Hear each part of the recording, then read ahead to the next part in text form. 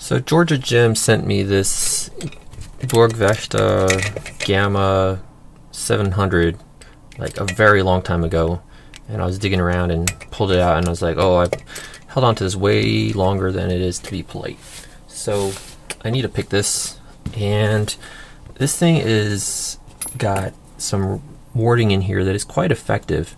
Uh, when you go to lift different pins it mutes the feedback because you're even with this really thin pick, you're rubbing against warding on left and right on the pick. So it, it's pretty effective. And if we look at this key here, we can see it has this high lift on pin 2, and that's going to be a real pain uh, to pick. Not so much because it's behind this, not even really a low lift, but that doesn't pose an issue. It's just the sheer height of, of the of the pin um, that causes issues. So let's go ahead and pick this here. We'll go ahead and got this Lawlox tool tensioner and a Sparrows SSDev deep hook um, in the thinner form. I don't know what the two thicknesses are, but this is the thinner of the two. I put some Plastidip to make a handle because um, these are very thin. So we'll go ahead and uh, go back. I think this lock has, let me think, like five pins or something like that. So let's look. One, two, three, four, five, six. Six pins. Um, and what I'm to do is this pick can't get under all the all the pins at rest. So if there were any no lifts, I'd have to go with a different pick. Uh, but from having picked this before, I, I, know that there aren't. So I'm trying to get under the very last pin, and I kind of have to like scoop up on it, let off on tension to get under that last pin. And once I do, I feel counter rotation already. So this thing starts kind of in a false set when you put tension. And now I'm under the back one. So I think I've set the last pin and as I pull the lock back out I encounter another one that's giving me counter rotation.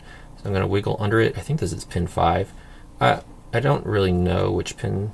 I just feel for the ones that are um, giving me counter rotation and then I go to set them.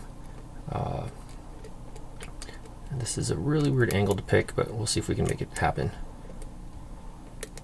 All right, so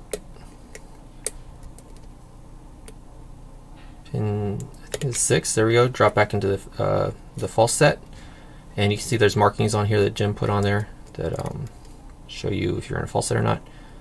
Come back, I think this is pin four.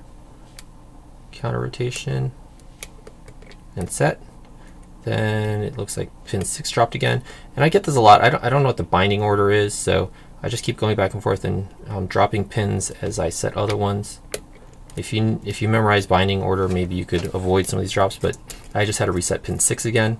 So I'm coming back forward, and I notice that when I touch pin 2, it drops into even deeper false set. And pin 2 is so high up, I can't actually feel it anymore with this pick. Um, so I could go in, but as I come back, I see pin 1 is giving me counter rotation. So let's go ahead and try to set that while we're here. There we go. So pin 1, and again, when I touch pin 2, it goes into deeper um, false set. So I, I, think I'm in a, like a long spool on pin 2, and I've pushed up the driver. It feels like pin 3 is now giving me counter rotation. So let's go ahead and try to set that guy. I can't find him. So one thing I note is like I lose track of the pin because um, it's high up there. So I can come back and push on pin 2 and drop it back into that false set. So what happens is as I push pin 3, uh, I'm getting counter rotation. Pin 2 is sliding down the spool and holding the position. Um, so if I come back and push up pin 2, I drop back into the deep false set. And now I can go back to pin 3, find it again, and get my counter rotation. Now I'm going to try to stay on pin 3, but I don't think I can. Alright, lost it again. So back to 2 to get into my deeper false set. And that allows me to feel the bottom of pin 3, getting that counter rotation. And then it gets to the point where I just can't push it anymore. So what I'm going to do is I'm going to switch to this kind of shallow hook from Lawlock Tools. And I'm going to go and find that pin 3 right there and try to do it with this. And then what I'm going to do is I'm going to go up on this next ledge here, this top ledge, and see if I can set it from here. Kind of pulling it forward to get under that pin 3 because it's too tall. Um, the pick is a little too tall to get under it. But once I get under there, I might have dropped something there. There we go. I think that was uh, that was either pin two or three. We'll find out. Go in with this guy again and see what all we might have dropped. Something towards the back. I think it's pin six.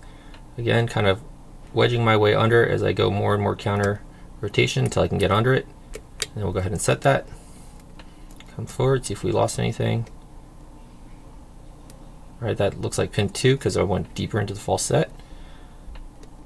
Is it just pin two I'm now needing? Six, five, three. Yeah, I think it's just pin two. But like I said, pin two is so high up there, I, I can't even get to it. So again, I'll come back with this short hook and I'll try to find it. So that's, I'll scoop under. So I think that's pin one. Is that pin two there? See where I can get, uh, there's there's my big counter rotation. So that's pin two right there. Lift up on it, and then it gets stuck on the lip of the of the spool. So I kind of let go of a lot of the tension pressure and kind of wiggle, trying to get the get the pin to give me my counter rotation past the, the lip of the spool. See if I can get that pulled off without dropping anything, or at least not dropping too much. And I can't find it, so let's go back to deep false set. Make sure I'm well on the pin. Do my little jiggle thing. I'm having, oh, all right, I think I got it. Lost my tension, but I think we're open. And it's not a, it's not a sprung core, so you can survive that kind of stuff. But there we go. So we are open. We can go back here. Give us some autofocus actually. And there we go. That guy's open. One thing we didn't look at is um, using the key. Now, with the shackle open, you can't Oh, maybe you can lock it up. Interesting. There's, but if you lock, if you close it, now you can lock it up, and we can go ahead and open it again. There we go. So thanks Georgia Jim. That's the Burg Wächter Gamma 700 from Germany.